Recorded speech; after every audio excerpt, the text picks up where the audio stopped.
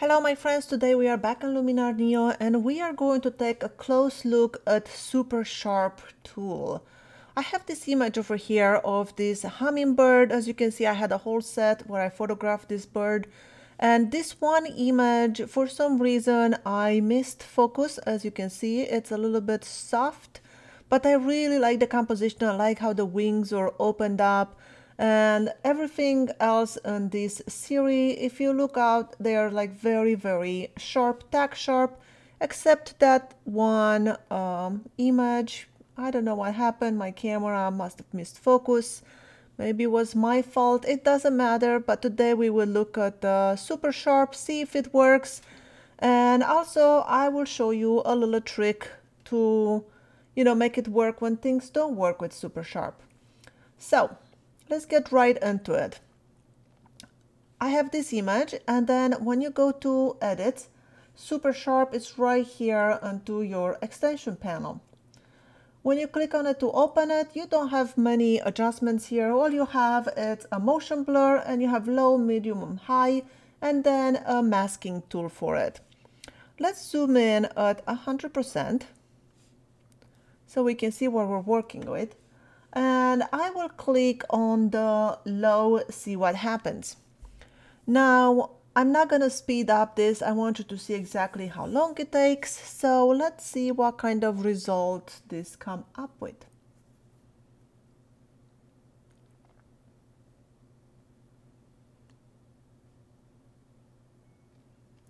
And it's still thinking. You can see this graphic on the screen.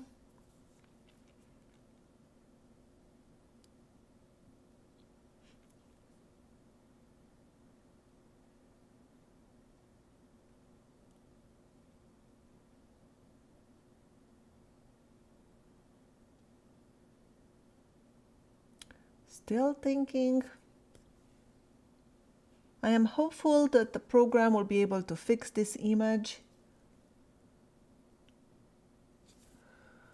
All right, let's see. Well, it's definitely looking sharper. If I go here to this eyeball on the bottom, this is the before, this is the after, before and after.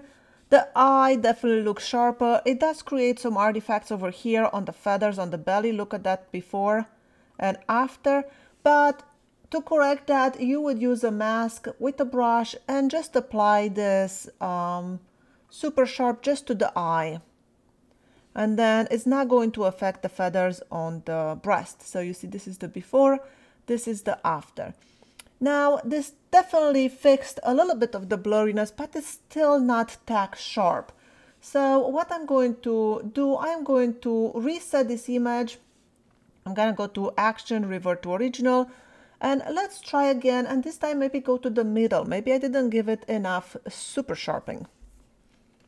See if we can get a little bit better result. I think the low super sharp mode did, did a good job, you know, it definitely made it sharper, but it's not tack sharp. And if it would be an image that I just want to post to Instagram or Facebook, I think that would be good enough. Now, most of the time you'll have um, blurry image probably going to be your wildlife, your birding, your animals, because if you're just taking landscape photos or flowers or whatever, it should be no reason for it to be blurry because you can stay there and take your shots as many times as you need. But birds, insects, they will fly away and you know, maybe you only have like a short moment to take the second. Now the artifacts on the medium, super sharp, it's completely horrible in here. This is the before, this is the after.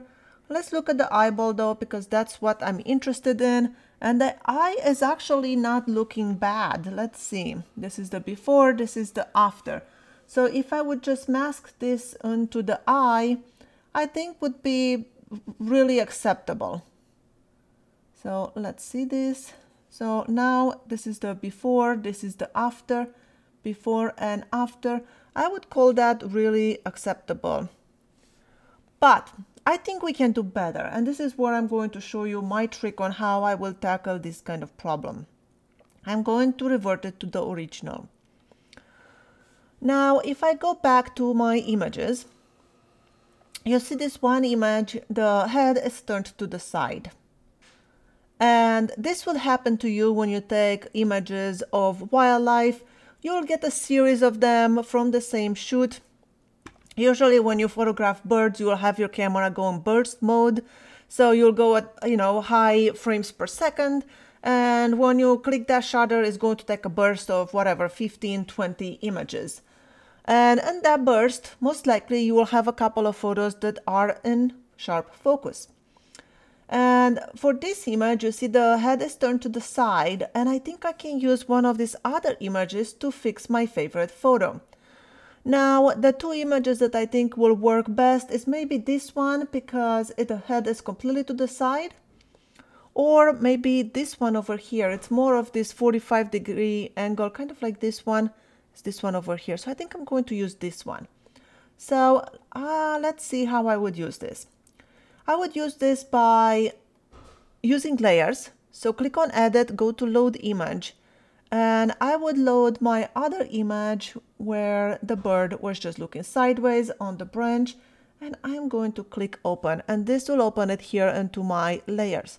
Double click on it to load it as a layer and you see if I increase it to 100% this is my image where the eye is very very sharp so if I go to 100% you will see tack sharp image on this bird.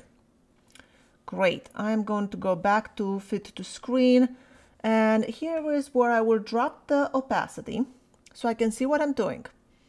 Then what I need to do, because this bird is looking to the left, I need to turn it so it looks to the right.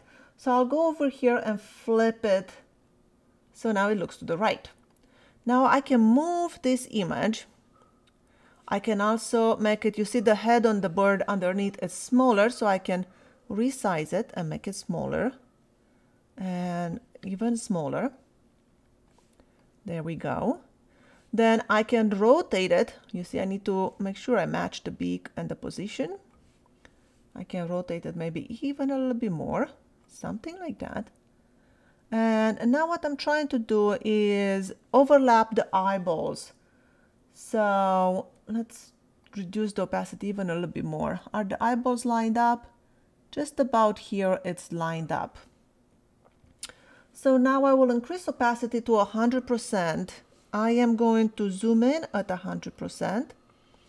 And then with masking, I will use a brush or a radial gradient. Let's use the radial gradient. And I'm just going to mask in the eye. I want to bring from this image just the eye maybe something like that, but I need to invert it because now I'm selecting everything else but the eye. So there you go. Maybe I'll make it just a little bit bigger. There you go, nice feathering.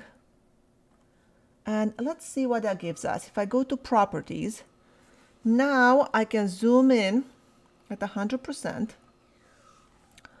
And as you can see now we have a nice sharp eye and nobody would know that we replaced that eye from a different image. So let's go command 0 to fit to screen. And if I turn this layer on and off, let's see, hide layer. Ooh, the eye is rotated. You see, I didn't do a good job.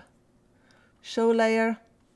We need to rotate it more. So I'm gonna go to layer properties and I need to rotate it. And I made it too small. The eye underneath was bigger. So I'm gonna make it bigger again.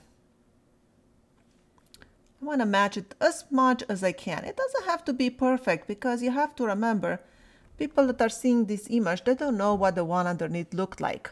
So let's see now if I hide this layer, this is the original eye, show layer, this is the eye that I put on after.